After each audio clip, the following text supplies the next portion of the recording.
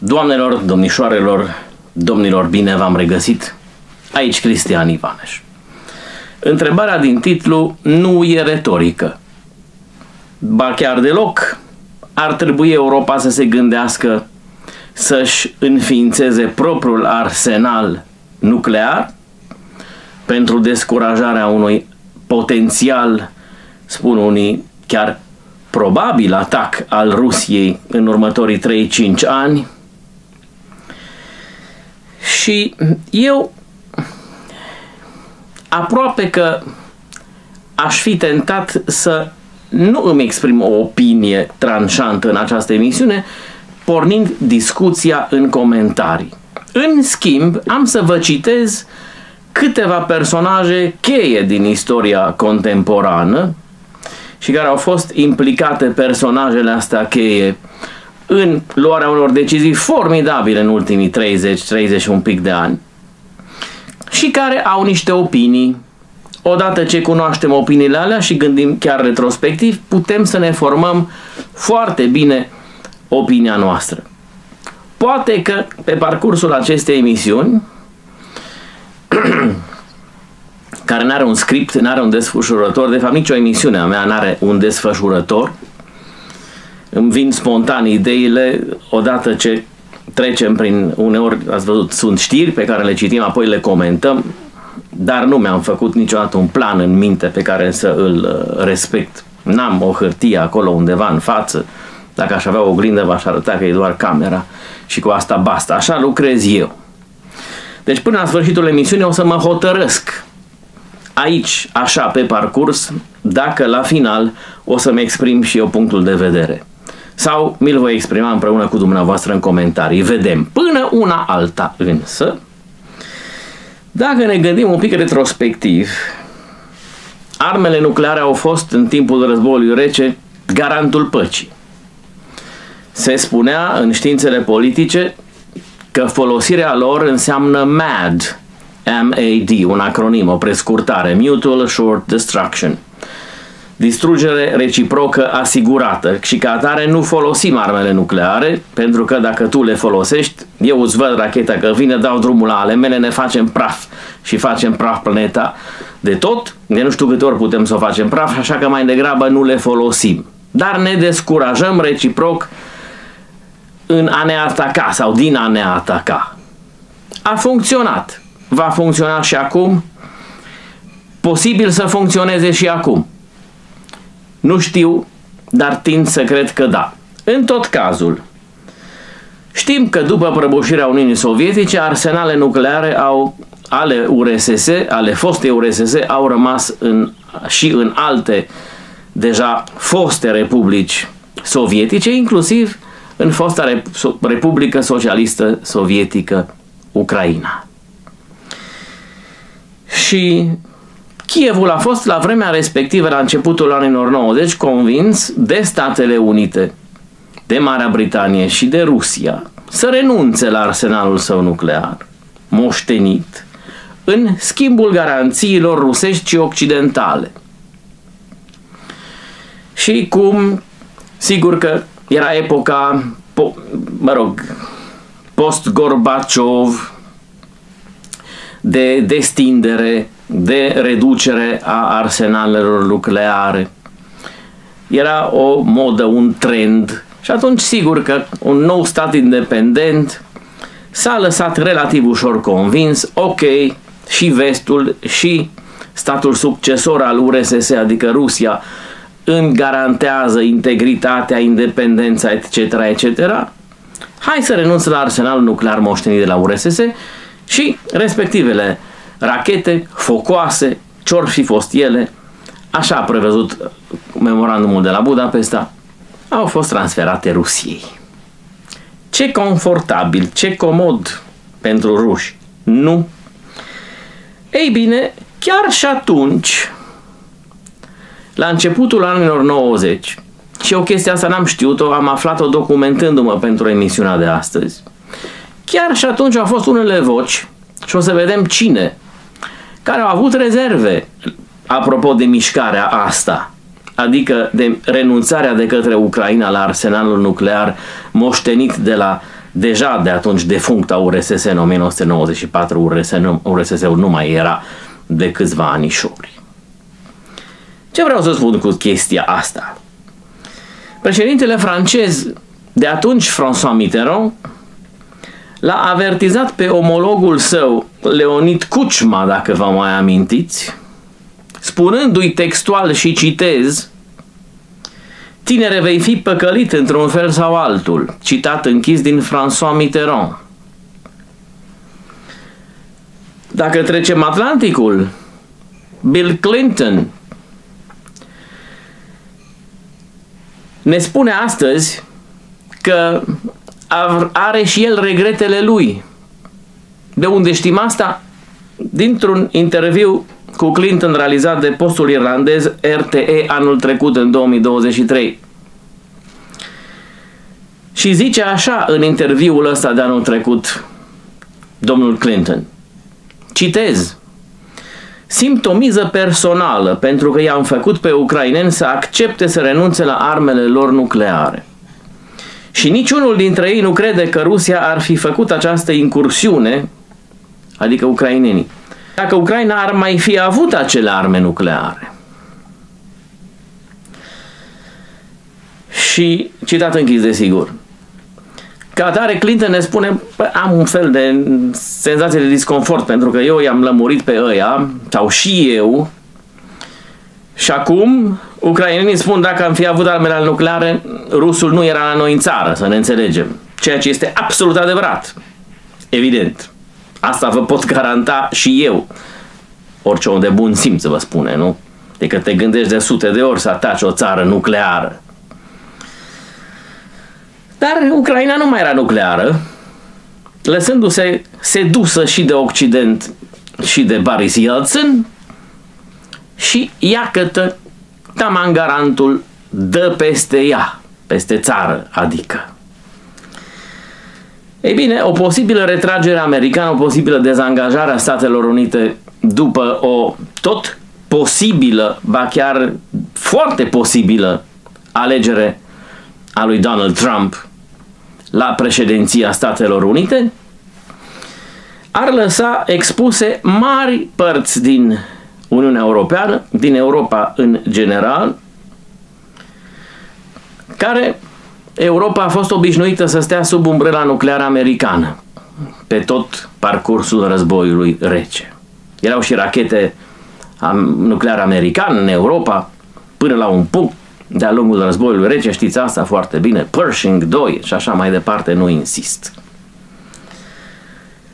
Ei bine, există o idee, totuși. Sigur, în Europa există dilema, ok, dezvoltăm și noi un arsenal nuclear, în Europa există totuși două puteri nucleare, în NATO și în Europa. Una în Uniunea Europeană, una nu. E vorba de Franța și e vorba de Marea Britanie. Și există o idee pe care președintele Macron a sugerat-o cu niște ani în urmă, nu s-a mai discutat despre ea, și anume faptul că Franța ar trebui să împartă cumva arsenalul său nuclear cu aliații europeni. Și Manfred Weber, președintele Partidului Popular European, miercurea asta care tocmai a trecut, a declarat că aceasta, chestia asta lui, cu Macron, Franța și arsenal nuclear, este o conversație pe care europenii ar trebui să o poarte deja. Și a spus domnul Weber și citez din nou, Macron s-a oferit cu mult timp în urmă, nu chiar atât de mult, dar orice cât, în special germanilor, să ia în considerare modul în care umbrela nucleară franceză ar putea fi plasată într-un cadru european. Acum este momentul, zice domnul Weber, potrivit pentru a accepta această ofertă.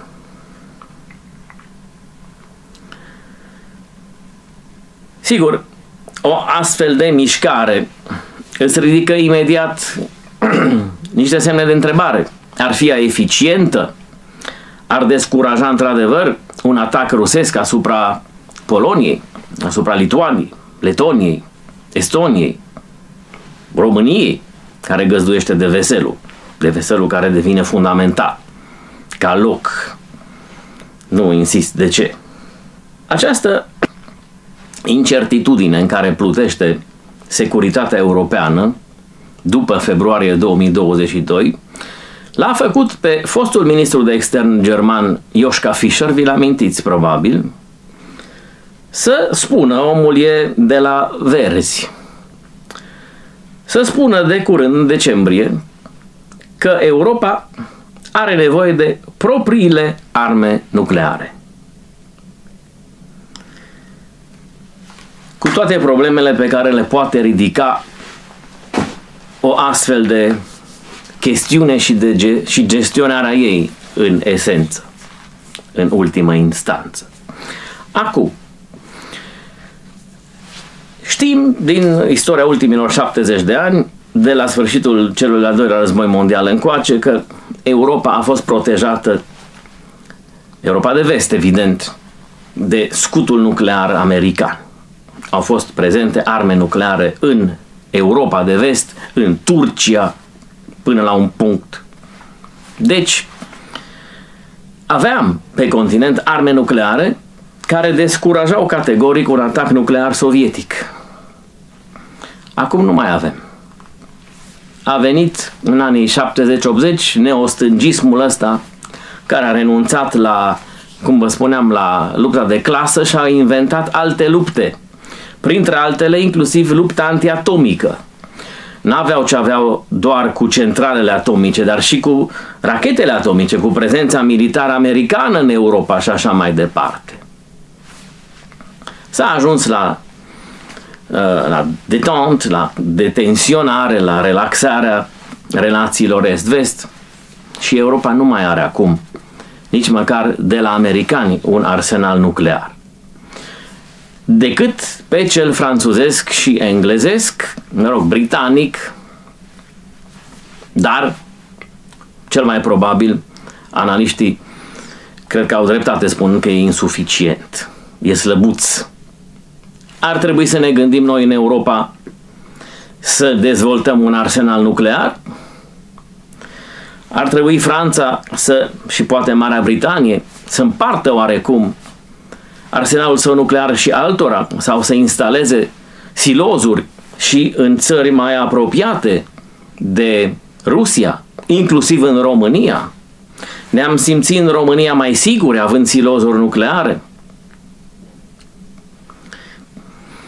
Sunt întrebări grele, foarte grele. Eu mă aventurez totuși, deși vă spuneam la început că nu o să-mi exprim o opinie, dar până la urmă e și nedrept să nu-mi exprim o opinie. În fond asta este menirea emisiunii, nu? Să ne exprimăm opiniile, inclusiv eu, vorba lui Iliescu, ultimul pe listă, cu voia dumneavoastră.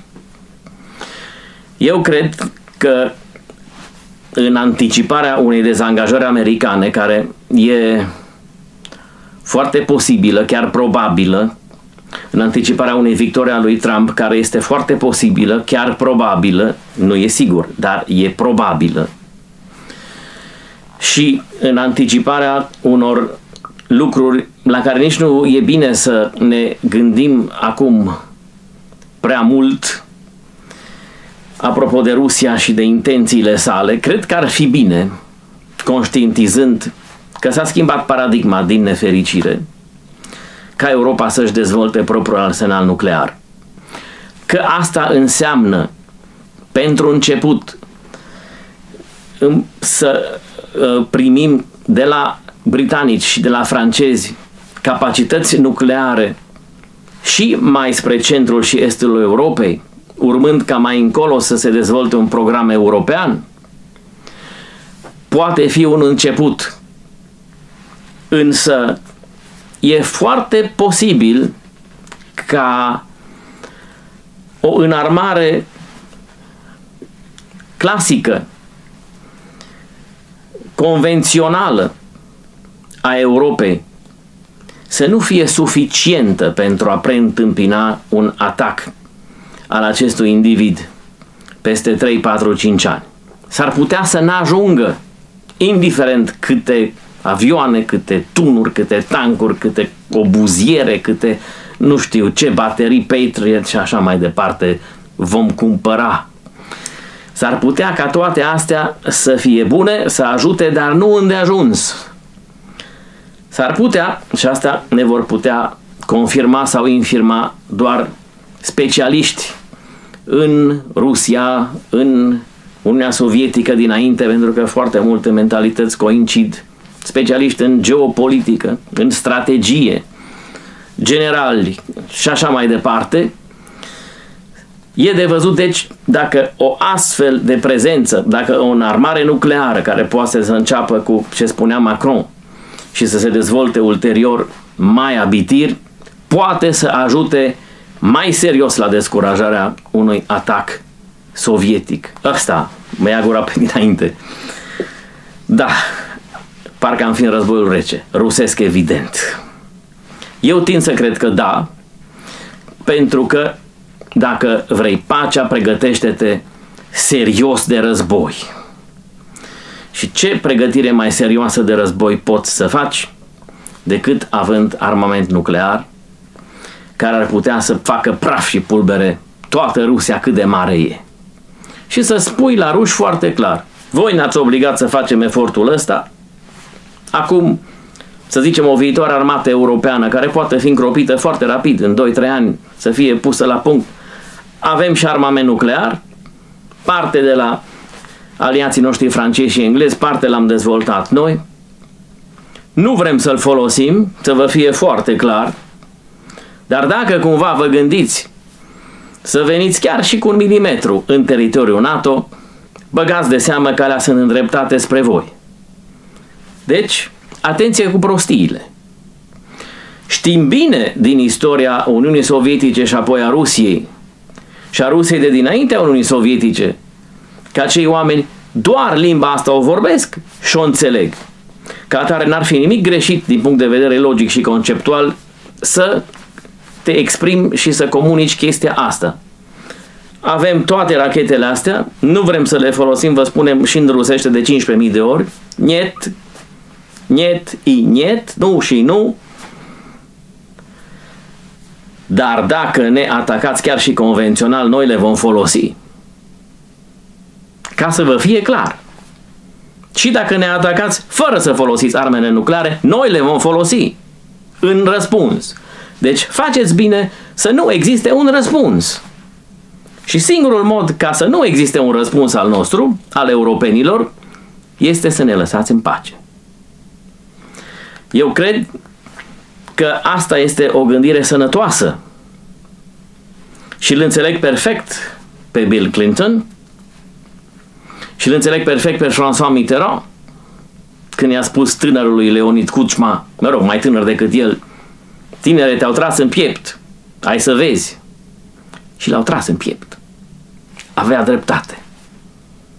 Ei bine, trebuie acum să facem tot ce ne stă în putință, inclusiv sau poate mai ales asta, ca să nu mai aibă dreptate cineva care ne va vorbi, Doamne ferește, cândva că am fost trași în piept din nou. Mulțumesc pentru atenție, pentru faptul că urmăriți acest canal, vă abonați la el, îl distribuiți prin rețelele dumneavoastră. Mulțumesc mult că faceți subscribe pe Cristian Ivaneș Oficial, pagina de Facebook a canalului. Chestie foarte importantă, mulțumesc că vă gândiți să susțineți acest canal pentru a putea rămâne în continuare aici online, în regim de freelance, cum numai așa îmi imaginez eu că pot lucra, cum prin Patreon, PayPal și Revolut dar și prin funcția membrii canalului sau supers. Mulțumiri anticipate, mulțumesc pentru atenție, a fost la microfon Cristian Ivaneș, toate bune și să auzim, numai de bine.